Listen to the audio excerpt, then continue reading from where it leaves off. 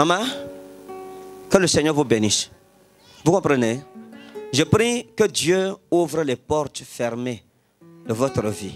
Amen. Le diable, le diable vous a combattu depuis longtemps. Vérité. Et vous avez donné votre offrande, c'est comme une connexion, n'est-ce pas? Pour la délivrance. Oui.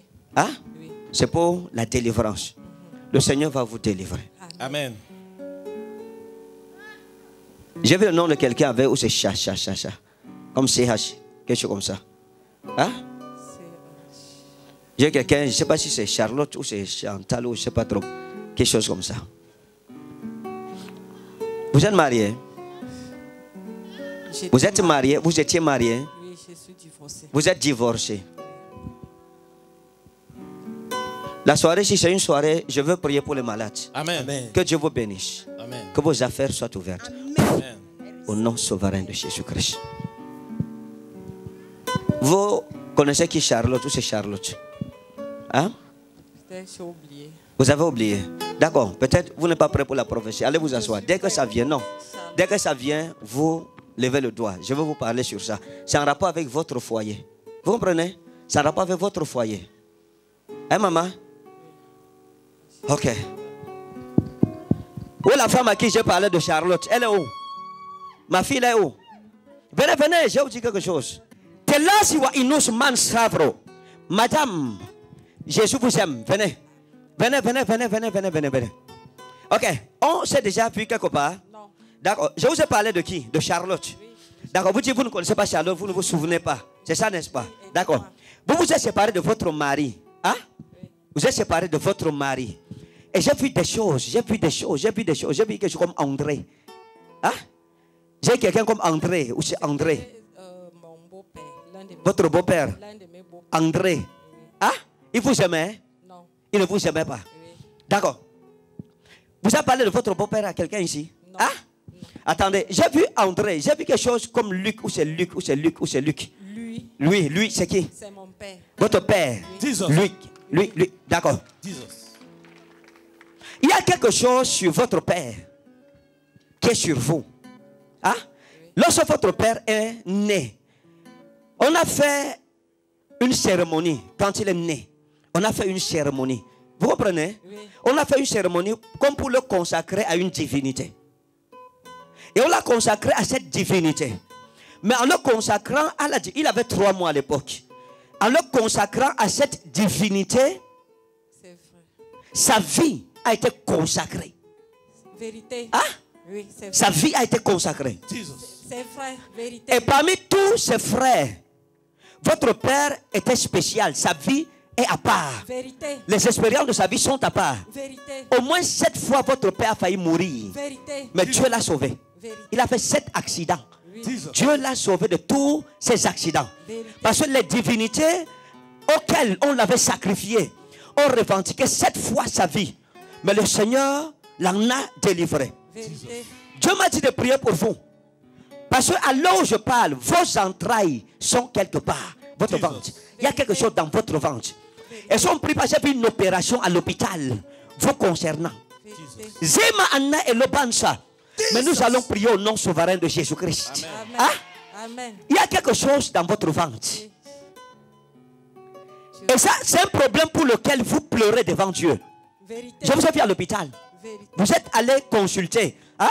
Vous êtes allé comme dans un département de gynécologie. Some sort like this. Hein? Je vous ai vu là pour faire des examens. Vous avez fait des examens. Ça, c'est comme un médecin homme qui est devant vous. J'ai vu dans votre, dans votre carnet de l'hôpital. J'ai vu le cachet. Hein? C'est où je suis que c'est un homme qui vous a consulté. Votre docteur Simon Pierre. Son cachet dans votre carnet, il s'appelle Simon Pierre. Jesus. Vous êtes allé et le docteur Simon Pierre vous a dit qu'il y a quelque chose dans votre ventre et qu'il faut vous opérer pour retirer ces kystes, ces fibromes pour votre restauration. Sinon, la place de l'enfant est occupée. Vous ne pouvez pas accoucher. Oui, j'ai un seul enfant. Ok, il n'y a pas de problème. Yes. Dieu me dit de vous dire, comme je prie pour vous, hein, vous serez délivrés. Attendez. J'ai vu une femme qu'on appelle Denise. Denise. Hein? J'ai vu une femme qu'on appelle Denise. Je vais vous expliquer. Dans votre famille, oh, peut-être je connais votre famille mieux que vous. Vous avez eu une soeur, une cousine qu'on appelait Denise. Elle est morte. Hein? Oui, Vous vous souvenez? Ah, ah. On l'appelle comment? Denise. Denise. Elle est morte. Lorsque Denise est morte, il y a eu un sacrifice dans le règne de l'esprit. Dei, wa tabur, wa inusru. Il y a un homme qui devrait vous épouser, qu'on appelait René, ou c'est René, quand vous étiez jeune. Vous vous souvenez Oui. On l'appelait comment? René. René. Jesus. Cet homme, si vous aviez épousé René, vous seriez heureuse aujourd'hui. Vous avez commis la pire erreur de votre vie. Le mariage que vous avez fait était un mariage par vengeance. Parce que pendant que vous aimiez René, il vous a abandonné pour aller avec une autre femme. Et il a épousé cette femme. Vous n'avez jamais oublié René. Ça fait lorsque votre mari s'y est venu, vous êtes juste entré dans le mariage comme ça pour qu'on dise aussi que vous vous êtes marié par nostalgie par rapport à René. Au début, c'était bien. Vous pensiez que votre rêve s'accomplirait. Mais après, votre mariage a tourné en un cauchemar. C'est Hades. Je vous ai parlé de Charlotte. C'est à cause de Charlotte que le cœur de votre mari a commencé à se tourner loin de vous. Et cette Charlotte, vous l'avez connue. Vous avez eu une petite amitié. Ce n'était pas une amitié approfondie. Mais pendant qu'elle était avec vous, elle sortait avec votre ex-mari. Vous ne le savez pas. Jesus. Quelque chose se passait avec votre mari un jeudi à 13h10 minutes 47 secondes. Jesus.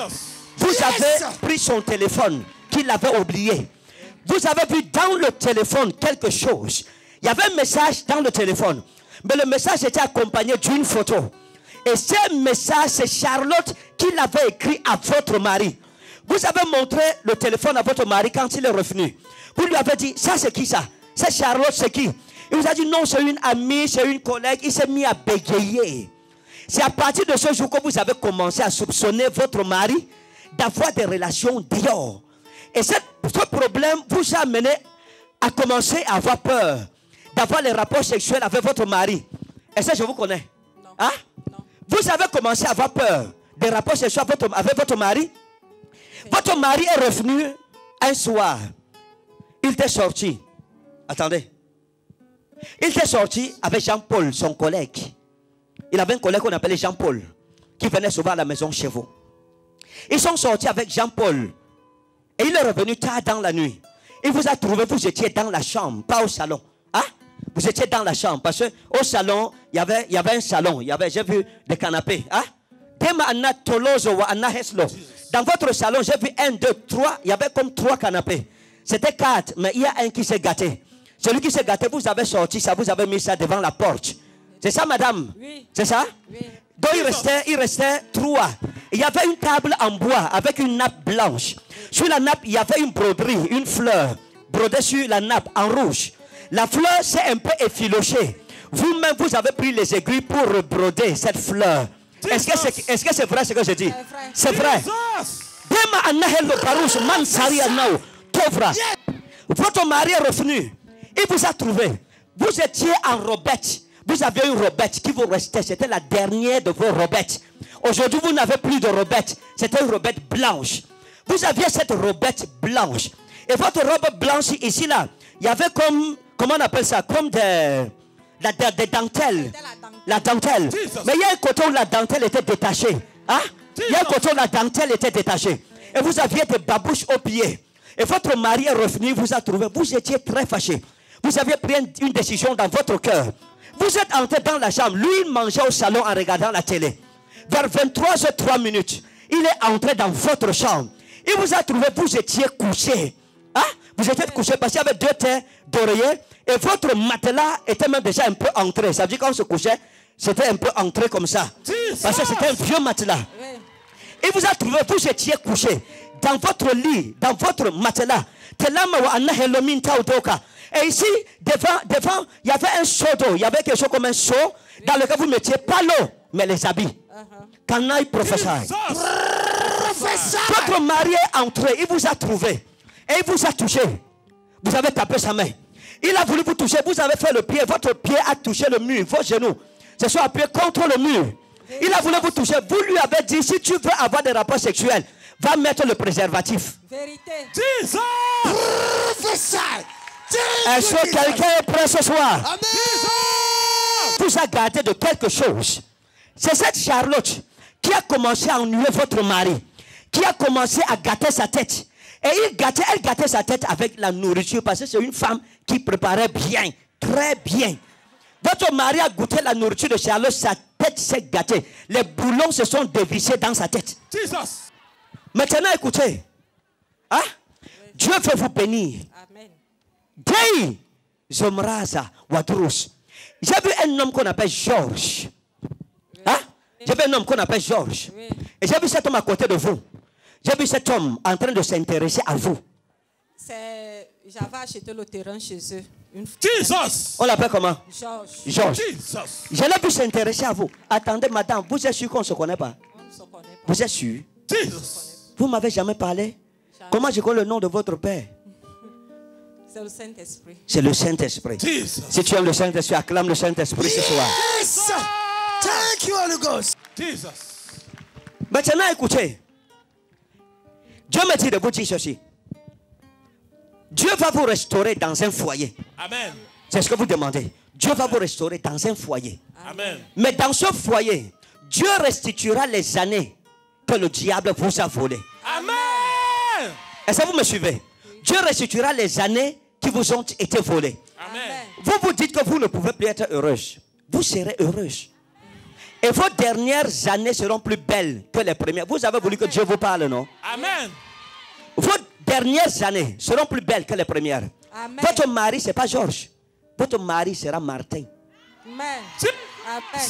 Et ne jouez pas avec Martin. Ne vous amusez pas. Parce que Dieu veut vous restaurer. Est-ce que vous comprenez? Hein? Amen. J'ai vu quelque chose, c'est un zoc, c'est un zoc, un zoc, un zoc, un zoc.